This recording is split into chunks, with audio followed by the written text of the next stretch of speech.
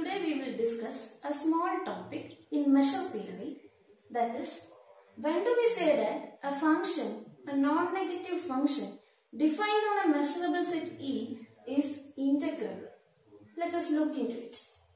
The definition is given as a non-negative measurable function f on a measurable set E is defined to be integrable over E provided integral over E f is finite. Understood?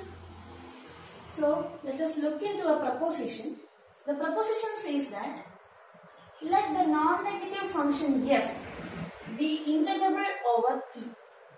Then f is finite almost everywhere on E. That is, we are given a non-negative function which is integrable over E. We need to prove that that function f is finite almost everywhere on E. What do you mean by almost everywhere on E? Almost everywhere on E means you find the set of all x in E such that fx is not finite. Then that measure of that set will be 0. A property holds for almost everywhere on E means that property which does not hold on a set, you collect that set, that measure of that set is 0. So let us look into the proof. For each n in natural number n, you apply Chebyshev inequality and monotonicity of measure to this set. Let us see in detail. Given f is non-negative function and it is measurable. So, f is measurable means what? For each real number or extended real number c, the set, set of all x in E such that fx equal to c. See this set. Set of all x in E such that f of x equal to c where c is an extended real number has a measure. The measure of this set is well defined. So we can talk about measure of this set. And of course for each natural number f of x greater than or equal to n you collect all x in E such that fx greater than or equal to n. Then also this set also has a measure. This comes from where given f is measurable. So we can talk about measure of these two sets. And we know that measure has the property of monotonicity.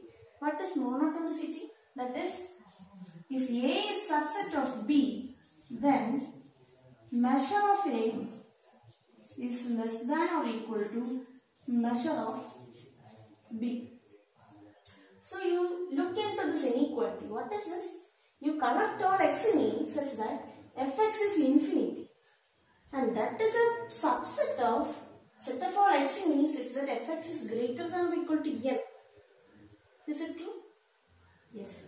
So by monotonicity of measure, we have measure of set of all x such that fx equal to infinity less than or equal to measure of set of all x in such that fx greater than or equal to n. Now where from this inequality comes? By Chebyshev's inequality. What does Chebyshev's inequality tell us? It tells us that for a non-negative measurable function f defined on a measurable set E and if lambda is any positive real number, we have measure of set of all x in E such that fx greater than or equal to lambda is less than or equal to 1 by lambda integral over E f. This is Chebyshev's inequality. For any non-negative measurable function f defined on a measurable set E and for a lambda greater than 0 a real number, measure of set of all x in E is that fx greater than equal to lambda is less than or equal to 1 by lambda into integral E f.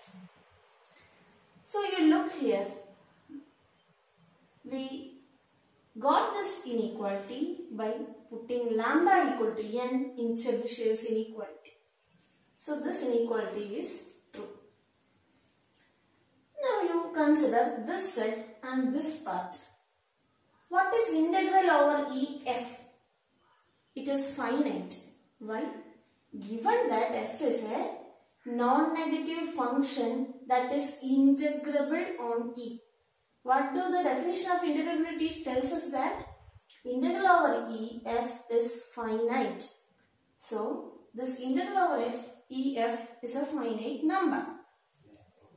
And measure of this thing is less than or equal to 1 by n into a finite number. And this is true for every natural number.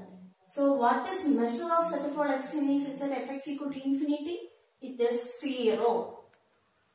Agreed? Now, what is this?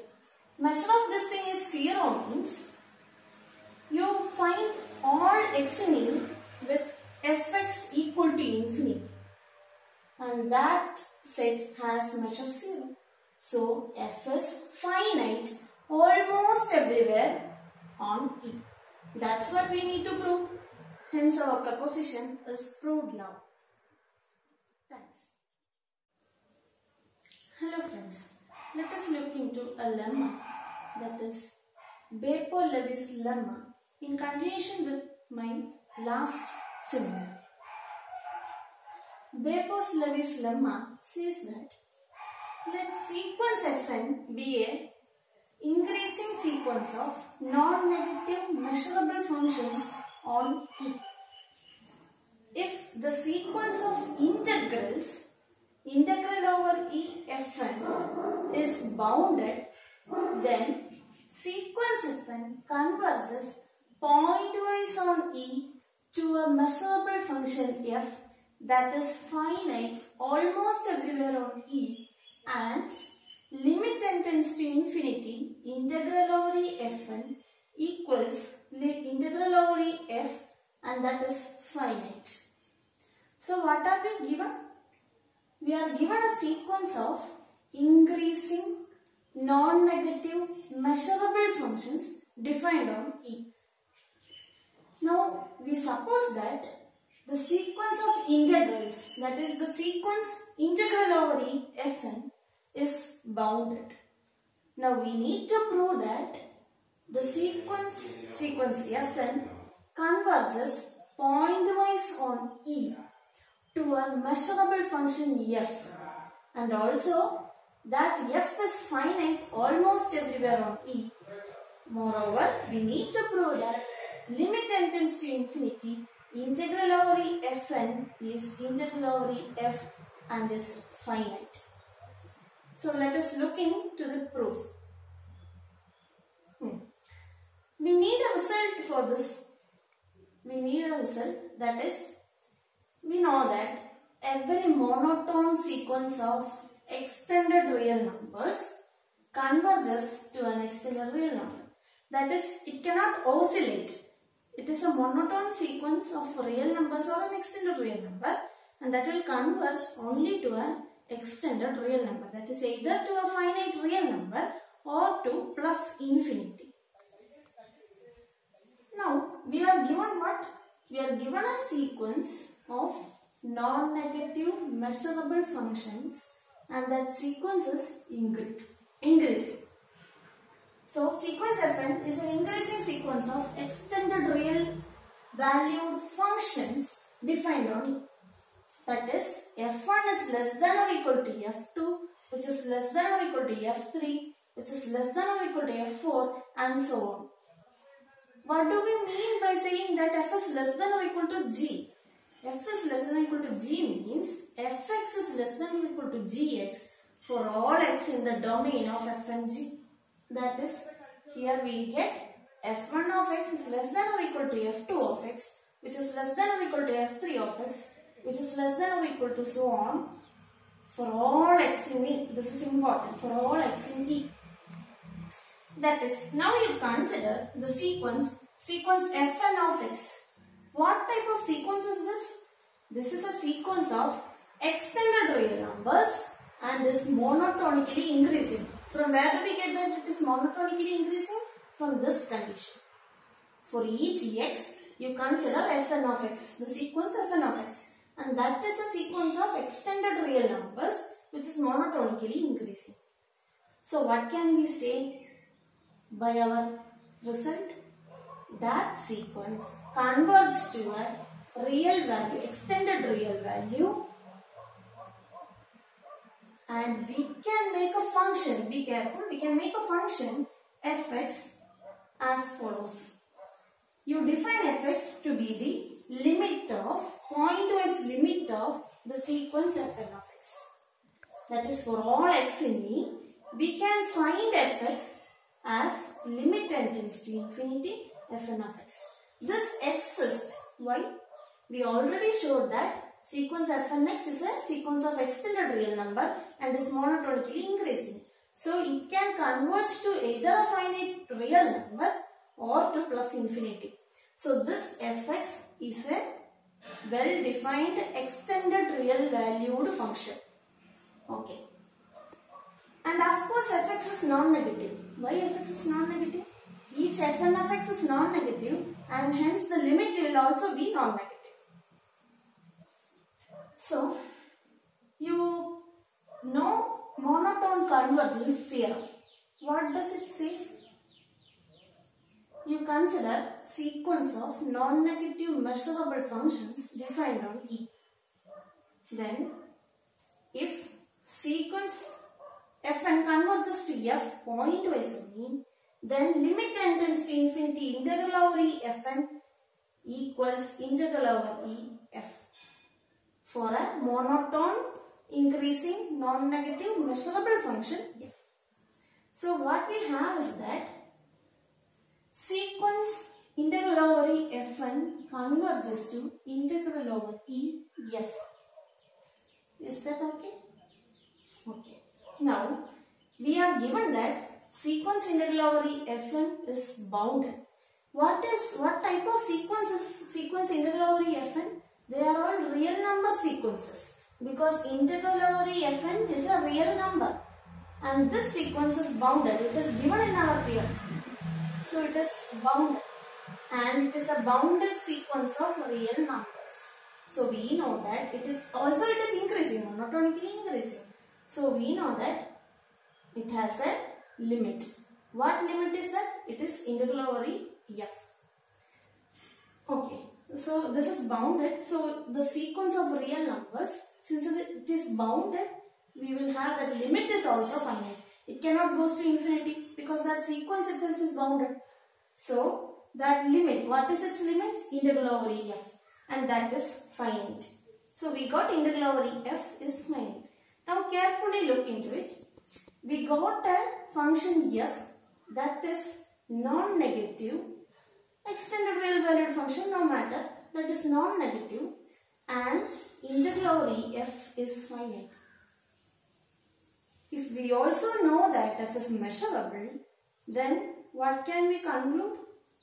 Integral over f is finite means f is integrable. Isn't it?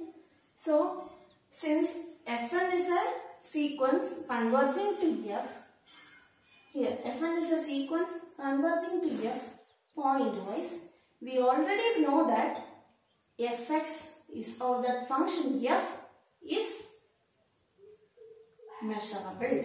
That a sequence of measurable functions converge to a function then that function f is also measurable. So we know that f is measurable and f is a non-negative function also integral over a f is finite that is f is integrable. What we need to prove is that if a sequence of integrable functions integral over e fn is bounded then sequence fn converges pointwise on e to a measurable function f. So we show that the sequence of function sequence fn of x converges to a measurable function f and we also proved that f is measurable. Moreover, we need to show that this f is finite almost everywhere on E.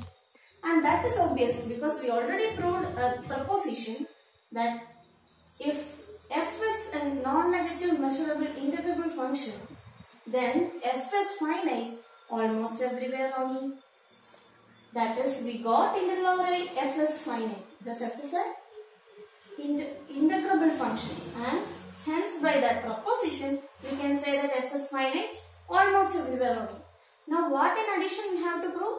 Limit n tends to infinity integral over e fn is integral over e f and this part is easy we already proved it. Now this part we need to prove. How we will get that? We know by monotone convergence theorem this thing converges to this thing and that is what written as this that is limit n tends to infinity integral over f n is integral over f and that is finite. Hence our Beppo's lemma has been proved. Thank you everyone.